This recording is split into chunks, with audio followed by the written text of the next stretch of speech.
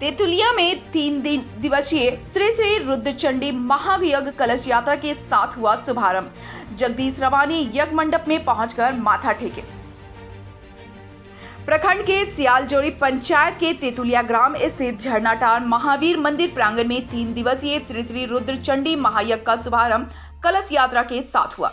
तेतुलिया एवं आसपास के गाँवों के श्रद्धालुओं ने सुबह महावीर मंदिर पहुंचकर 501 कुमारी कन्याओं एवं महिलाओं के द्वारा तीन किलोमीटर दूर इजरी नदी, घोसाल डागा घाट से जल उठाकर जल यात्रा प्रारंभ की। कलश यात्रा में हर्जा अलोत श्रद्धालु की भीड़ उमड़ी, जहाँ श्रद्धालु गाजे बाजे कीर्तन मंडलियों के साथ साथ हर हर महादेव जय श्री राम ओम नमः शिवाय, एवं धर्म की जय हो।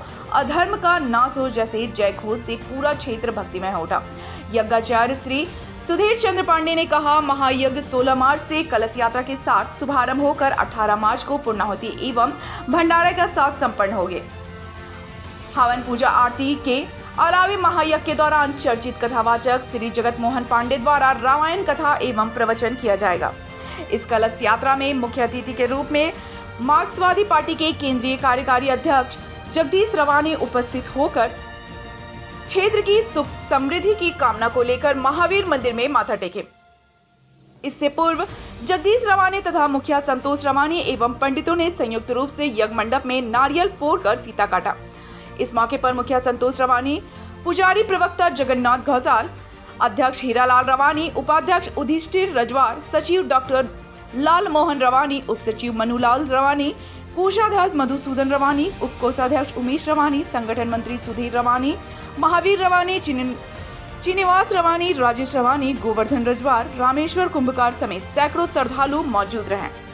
हम चंदन केहरी पहुँचे थे, चंदन केहरी प्रखंड, और सियार जोड़ी पंचायत के अंतर्गत आता है तेतोलिया गाँव, धरना टाण बजरंगबली प्रांगण के पास जो है कि महारुद्र योग का जो है कि तीन दिवसीय आज कलश यात्रा था इसी में आज आए थे।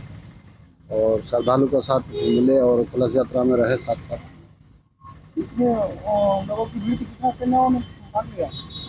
हज़ारों की संख्या में लोग जुटे हुए थे और भाग लिए कलश यात्रा। वहाँ से आपका इजरी से उठा करके लोग यहाँ झरना तक पहुँचे। में आप घूम रहे हैं, किस तरह का माहौल देख रहे हैं, कैसे तैयार चल रहा है? देखिए, तैयारी यही चल रहा है कि गाँव का जो झारखंड राज्य आज तेईस साल हो गया अलग हुआ तो अभी तक जो है कि झारखंड का नीति नहीं बना है। और ना ही झारखंड का जो है कि जो वैकेंसी हो रहा है। तो कहीं ना कहीं जो है कि झारखंड में पूरी तरह से युवा जो है कि झिझ रहा है बेरोजगारी से जूझ रहा है सभी युवा लोग। तो हम लोग गाँव गाँव में घूम रहे हैं कि भाई युवा लोग एकजुट हो और झारखंड का जो जो खतियान का बात है या नियोजन नीति का बात है ये सब बनना चाहिए झारखंड में। तो नहीं बन रहा है तो आने वाला समय जो है कि 2024 में जो है कि हम लोग आगे फिर बढ़ेंगे। युवाओं के लिए इलेक्ट्रिसिटी या सामने जो पोल ब्लॉक है उस पर आप लोग क्या ज़ोर दे रहे हैं? ज़ोर दे रहे हैं कि देखिए जब ज़मीन जब लेने के बारी आता है प्लान को बैठाने के लिए तो उस समय बोलता है कि आकर के गाँव गाँव में बोलता है कि भाई हम आपको नियोजन भी देंगे मुआवजा देंगे सारी फैसिलिटी देंगे बिजली देंगे पानी देंगे। और जब प्लान जो है कि पूरी तरह से बन के जब तैयार हो जाता है तो गाँव का जो मजदूर लोग जो काम करता है उन लोग को फिर हटा दिया जाता है फिर बाहर से आदमी को जो है कि भर के उन लोग से ही काम लिया जाता है। तो इसलिए युवा जो है कि अब बर्दाश्त नहीं करेगा भाई जब ज़मीन भी दिया है और हमारे यहाँ प्लान बैठा है तो ना बिजली मिल रहा है ना पानी मिल रहा है ना नियोजन मिल रहा है। तो इसलिए हम लोग घेरेंगे। इलेक्ट्रिकल प्लान को भी जो है कि घेरेंगे हम लोग। और हम लोग अपना जो पचहत्तर परसेंट जो झारखंड सरकार जो नियम पास किया है वो पचहत्तर परसेंट स्थानीय लोगों का होना चाहिए।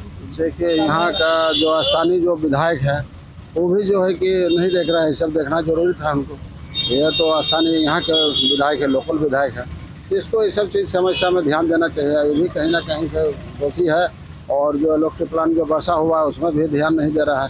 तो मजबूर जो है कि हम लोग आना पड़ रहा है गाँव में हम लोग घूम रहे हैं और फिर हम लोग का व्यवस्था हम लोग कर रहे हैं जितना शक्ति हम लोग को ना विधायक है ना कुछ मान रहे हैं सर दो हज़ार चौबीस में यदि जनता आपको ला रहा है तो इस सबको दूर करिएगा सर।